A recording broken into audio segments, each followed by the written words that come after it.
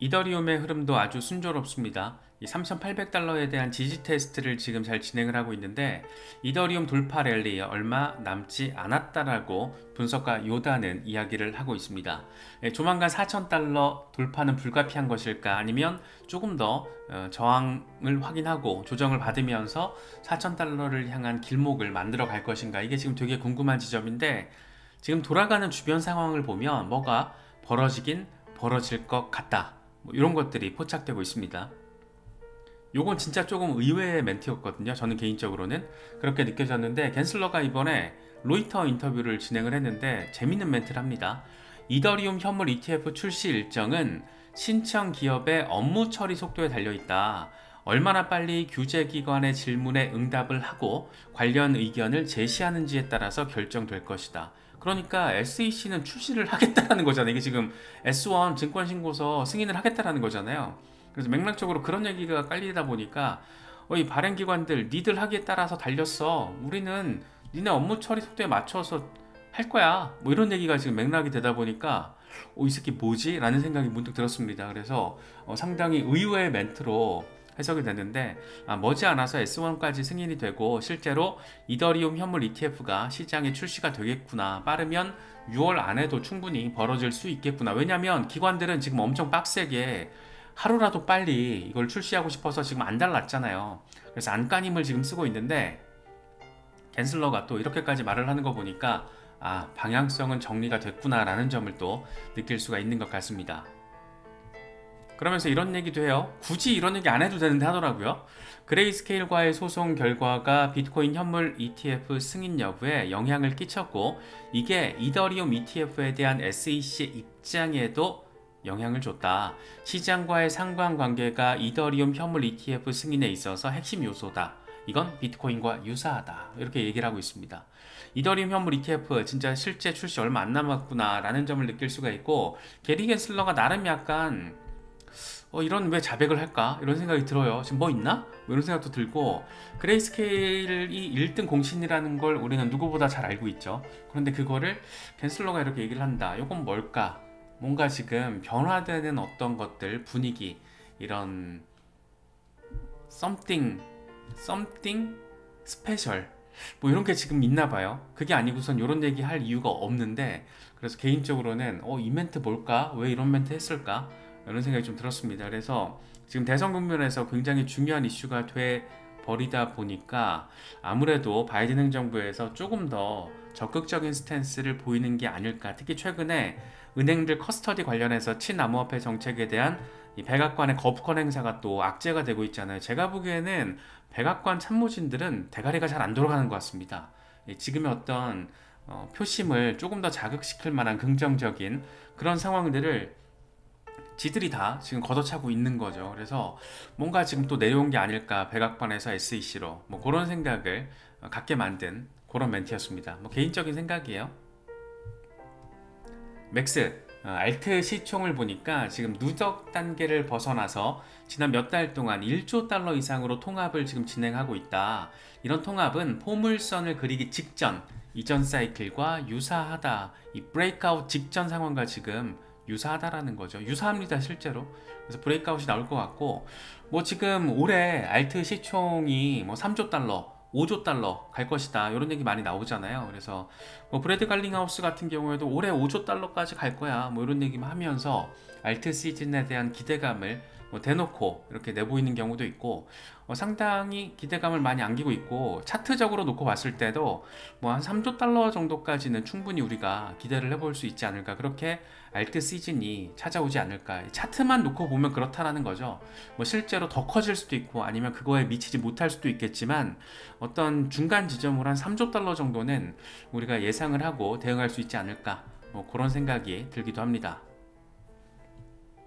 젤레 같은 경우에도 비슷한 얘기인데 조금 다른 관점으로 설명을 합니다. 알트코인은 여전히 2020년 플레이북을 면밀하게 따르고 있다. 이 비트코인 가격 발견기에 접어들면서 이 알트들이 빛을 발할 시기가 빠르게 다가오고 있다. 이거 사실 우리가 맨날 하는 얘기인데 다르게 표현이 된 거거든요. 비트코인이 이제 8월에서 아, 9월 본격적으로 반감기 포물선형 랠리를 시작하기 전까지 가격 발견기, 이른바 price discovery 단계로 접어들면서 이 사이드 횡보를 할 때, 그럴 때 이제 alt pumping이 나오기 시작하면서 어, 비트코인 all-time high 벌어지고 가격 발견기로 접어들면서 alt 시즌이 왔던 것처럼 이번에도 지금 all-time high 나오고 간다 어디를 향해서 alt 시즌을 향해서 간다라는 얘기를 이렇게 하고 있습니다. 그러다가 뭐 8월이 될지 9월이 될지까지는 알 수는 없지만 기계적으로 이전 사이클 패턴을 집어 넣으면 그렇다라는 거죠. 그래서 8월 9월쯤에 이제 본격적으로 비트코인 반감기 포물선형 랠리를 시작하기 전까지 알트 시즌이 오지 않을까. 뭐 그런 얘기 우리가 맨날 했던 얘기잖아요. 그런데 이걸 지금 이렇게 표현을 하고 있는 겁니다. 비트코인이 가격 발견기에 접어들면서 알트들이 빛을 발할 시기가 빠르게 다가오고 있다 라는 점 네, 상당히 흥미로운 지점이에요. 그래서 이제 summer 랠리가 되는 건데 이제 6월에서 8월까지 예, summer 랠리가 조금 벌어지면 좋겠다 그런 생각이 들기도 합니다. alt 몇 개 흐름을 짚어볼 건데 이건 먼저 페치 daily 차트입니다.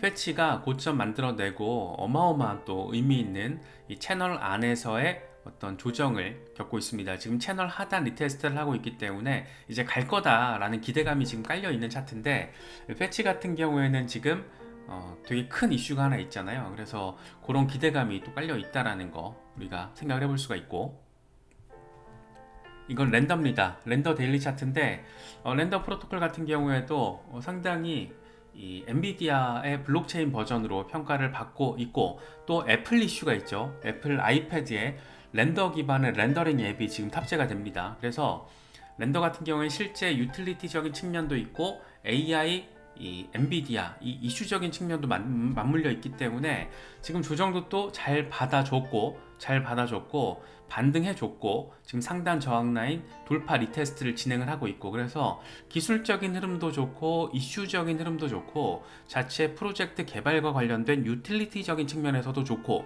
그래서 지금 사실 Render는 3박자가 좀 맞아 떨어지는 것 같아요. 그래서 이때 매수하신 분들 이때 매수하신 분들이 지금 약간 재미있게 상황을 바라보실 것 같은데 지금 들어가시면은 이게 만약에 어떤 악재가 갑자기 생겨서 맞고 떨어질 수가 있잖아요. 그래서 그런 리스크를 감안을 해야 된다라는 거를 염두에 두셔야 되고 이제 요때 잘 매수를 하신 분들 한 요 정도에서도 어, 축적을 하는 축적 기간으로 바라봤을 때 매수하신 분들이 지금 이제 예, 플러스 상황을 바라보고 계실 거고 뭐 진작에 들어오셨던 분들은 우리가 아마 이때부터 얘기를 했을 거예요. 그래서 저도 요때를 매집했었는데 아직도 좀 가지고 있습니다. 중간중간 익절을 했지만 거의 대부분 좀 가지고 있고 그래서 요때 매수하신 분들은 말할 것도 없고 요 시기 그러니까 고점 찍고 조정 기다렸다가 현명하게 요때 지지라인 테스트 할 때 매수하신 분들이 지금 약간 즐기실 수 있는 그런 부분 랜더 같은 경우에는 이 3박자가 잘 맞아 떨어져 있다라는 것도 체크하시면 더 좋을 것 같습니다.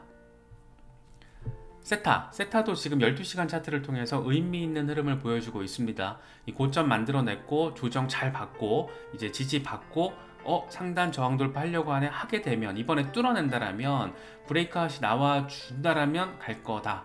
라는 어떤 기대감이 깔려 있죠. 그래서 돌파가 어, 진행될지 어, Theta holder분들은 잘 참고를 하시면 좋을 것 같습니다. 이건 니어 프로토콜, 니어 프로토콜도 조정을 빡세게 받았죠. 이거 two day 차트인데 어, 지금 뭔가가 갈 것 같은 갈 것 같은 기대감을 안겨주고 있습니다. 과연 어, NEAR 프로토콜도 다시 10달러 위로 안정적으로 올라설 수 있을지 그 시기가 언제가 될지 이런 부분들 우리가 조금 기대를 갖게 만드는 상황이 아닌가 싶습니다. 지금까지 NEAR, 어, Theta, Render 그리고 Fetch 이 네 가지의 공통점이 있죠. 다 AI 테마로 엮여 있는 프로젝트라는 겁니다. 특히 AI 테마와 관련해서 이번 달에 지금 6월 중순에 재밌는 상황들이 맞물려 있죠. 일단 Fetch, Singularity, Ocean 프로토콜 이 세 가지가 토큰 합병이 됩니다. 그래서 ASI 프로젝트가 이제 6월 13일 단행이 되는데 재밌는 거는 6월 10일에서 14일까지 애플 세계 개발자 회의가 아, 열리게 된다라는 거죠. 그래서 날짜도 잘 맞물려 있고 아마 의도적이지 않나 싶은데 특히 이제 애플 이번 개발자 회의에서는 AI와 관련된 구체적인 계획이 공개가 될 예정입니다. 그래서 AI와 관련된 내용이 나올 수 있다가 아니고 내용이 나올 거예요. 근데 어느 정도 임팩트를 주느냐가 문제여서 그 임팩트의 강도에 따라서 AI 테마 관련 증시 종목뿐만 아니고 AI 테마 관련 crypto 종목들도 상당한 반등 호재가 될 수 있다. 될 수 있기 때문에 애플 개발자 회의에서 어떤 내용들이 나와 줄지를 우리가 또 면밀하게 좀 지켜보면 상당히 재미있는 상황을 바라볼 수 있지 않을까 그런 생각이 듭니다. 그래서 지금 AI 토큰뿐만 아니고 이런 차트들 되게 많거든요. 그래서 내가 지금 투자하고 있는 종목이 어떤 흐름을 보이고 있는지 이렇게 살펴보시면서 대응을 하시는 것도 괜찮은 학습이 될 수 있을 거라고 예, 생각이 됩니다. 또 한 가지 지금 암호화폐 시장 전반을 어루만지고 있는 이슈 가운데 하나가 미국 대선이잖아요. 이 대선, 아, 트럼프가 이겨야지 비트코인이 폭등하나? 이런 게 지금 약간 데이터적으로 나왔는데 재밌어요. 이 트럼프 당선 가능성이 높아질 때 그런 여론조사 결과가 나올 때마다 비트코인 가격이 동반 같이 갔다라는 거예요. 예, 지금 동조화 됐다라는 겁니다. 그래서 4월 22일부터 5월 24일까지 한 달간의 상황을 보니까 이 파란색이 지금 어, 트럼프, 트럼프에 대한 지지도, 당선 가능성이 나올 때 그리고 녹색이 지금 비트코인 가격이거든요. 어, 상당히 동조화 정도가 강하다. 그래서 시장에서는 어, 트럼프의 어떤 이 친암호화폐적인 stance 전환을 굉장히 적극적으로 지금 받아들이고 있구나. 그러니까 바이든도 진짜 암호화폐 투자하는 것들 다 도박꾼들이야 라고 폄하를 하고 싶은데 그러지 못하고 있구나. 그래서 SEC 위원장이 저렇게 stance 전환이 확연하게 이루어지는 멘트까지 날리고 있구나. 그렇게 이더리움 현물 ETF까지 승인이 되게 생겼구나. 그러니까 실제 출시가 되게 생겼구나. 뭐 이런 점들을 지금 볼 수 있는 거죠. 그래서 제프리 캔드릭 Standard Chartered 암호화폐 책임자죠. 이런 얘기를 합니다. 트럼프가 승리할 경우에 비트코인은 이 선거 시점에서 10만 달러, 그러니까 10월 정도에 10만 달러, 연말에 15만 달러에 이를 것으로 예상된다. 그러니까 10월에서 11월 그 선거 시점에 10만 달러, 트럼프가 실제로 당선되면 연말까지 15만 달러에 이를 것으로 바라본다라고 이야기를 하고 있습니다.